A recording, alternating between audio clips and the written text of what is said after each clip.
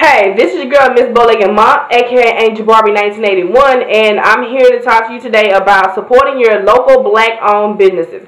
I was talking to um, one of my best friends today, and she was talking to me, and she basically said that she feels that a lot of people would rather support the Asians or the Indians or just anybody else who's selling African American products as far as like um, mainly she was talking about like maybe beauty supply stores, just just businesses like that. Um, she feels like um, we would rather give our money to the Indian people or the Asian people instead of supporting our own people who may be struggling in the community. And I told her, I said, I do believe that we should support a lot of black owned businesses, but I think that a lot of businesses, local businesses, should be more educated before they step into the forefront of trying to own a business. And you know, she was like, "Okay, well, what do you mean by that? You know, are you saying that um, you have to have a, a ton of degrees to open up a business?" And I told her, "No. I just feel like a lot of local black-owned businesses are not business savvy. They really don't know what to do." So she asked for examples. I said, "Okay."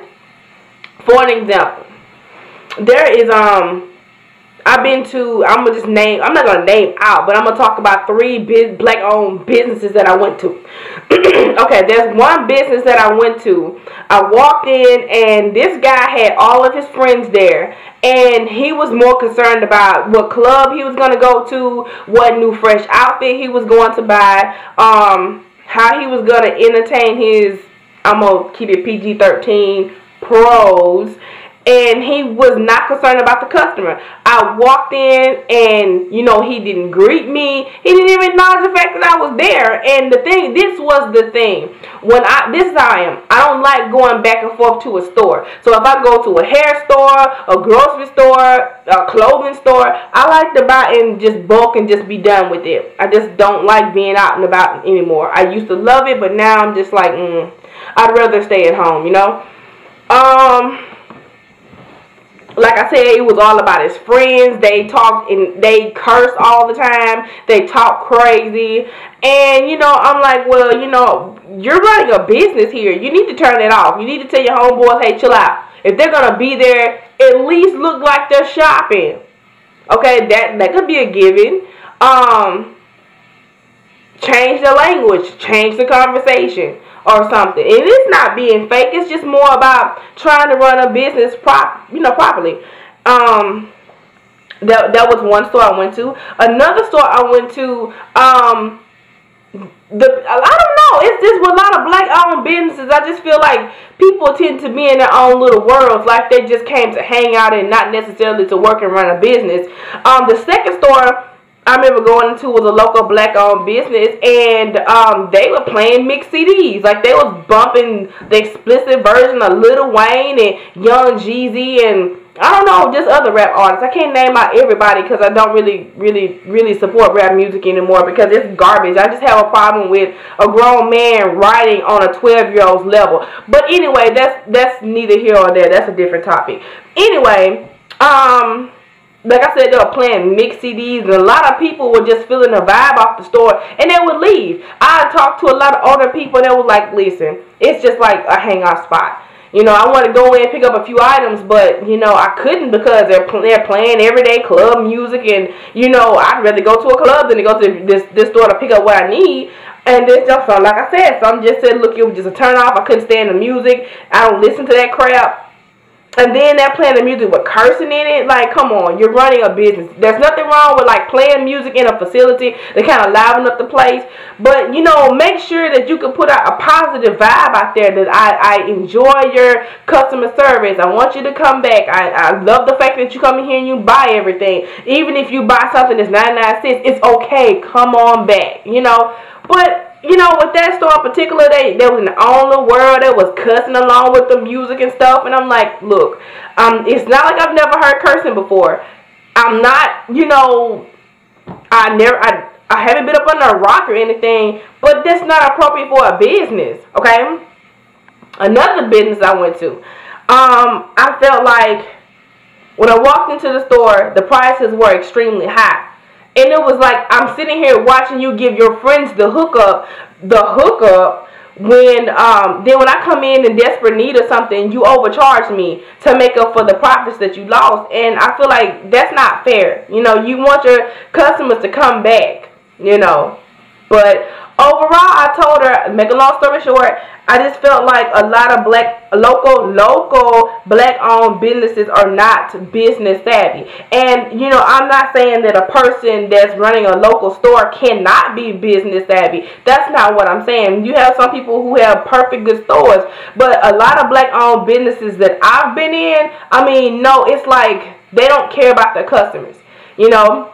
And I've had another store I went to where the guy that was running the store, I mean, he just acted like you were more of a pest and not a customer.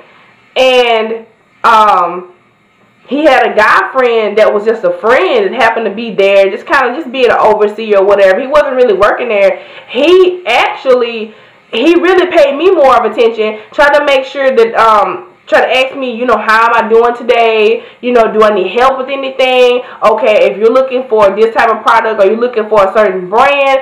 And then when I told him, oh, yeah, I'm looking for this and the other, he was like, okay, well, let me go get the owner because I don't work here. Are you serious? So I was like, you know what, never mind. You guys are in your own little world. You could care less about, you know, people coming in and out. This is just some hangout spot. I don't want it. Plus, on top of that, you know, the prices were just pure robbery. So I don't know, and I, and I told her that's the reason why I kind of sort of don't really support black-owned business. And I told her this. This is another point. Is that when I went to the store where the Asians were selling stuff, I mean, I walked in, they're like, oh, hello, how are you? And, you know, I talked to them. We actually had a conversation, um, shared some laughs, said, okay, I'm here looking for this. And um, it got to the point where I became a regular customer. They gave me like extreme discounts um, but they were able to do that because they had the connections. They could do that, you know. Um, I don't know. It's just they never really. They treated me more like I was family. And even if I see them out and about somewhere else, whether it's like another state over or a couple hours away from the business, they oh hello, how are you doing? And we love you and blah blah blah. And then to to just kind of see what they really were, to see where they just kind of just sucking up versus really just you know, being friendly, I walked in the store. I remember I walked in there maybe like five different times all in a row and didn't buy a thing. Just talk to them or whatever the case may be, and their attitudes were still the same. And then when I bought something, I'm like, you know what? We give you discount. And I'm like, oh, cute. You know, but I felt like they were business savvy. They had a positive vibe in the store. They didn't harass you or act like you wasn't there. If you had a question, they didn't act like you were a pest. They just answered the questions. Or they, if they did not know, which I think they all knew, but they answered the best way they knew how. And they kept people coming back because number one, they, like I said, positive vibe. They were there to answer questions. They didn't hawk you or ignore you. Um, I don't know. Um, they they just had more of a friendly vibe. You know, they didn't. You know, they're just friendlier. And I told her, I said, that's the reason why they get more support is because they actually, if if they don't care about you, they're very good pretenders. I've never had a store that wasn't African American that I went into and they just did not help me. You know, now I've had stores I walked into where that person tend to just kind of stare and hawk and I'll just leave because I mean, like I said, I can't deal with that that uncomfortable stuff, you know. But overall, I just never had a terrible experience. They just they, they were helpful. the music they played, if they played music, it was clean.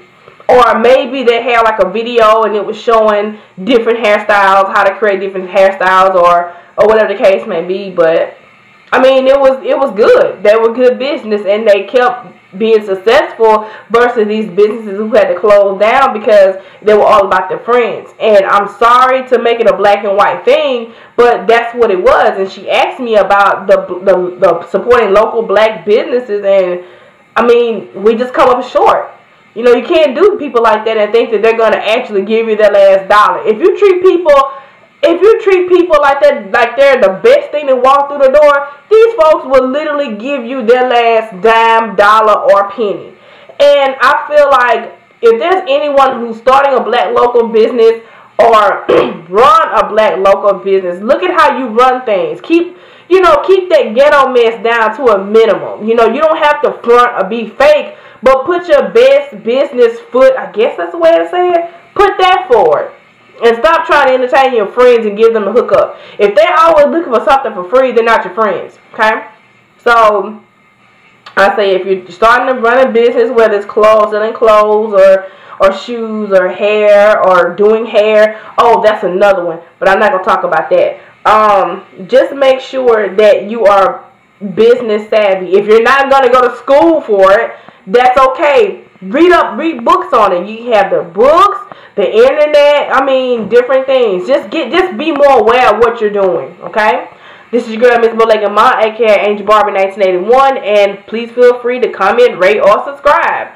Um, or leave a video response. Until then, bye, angels.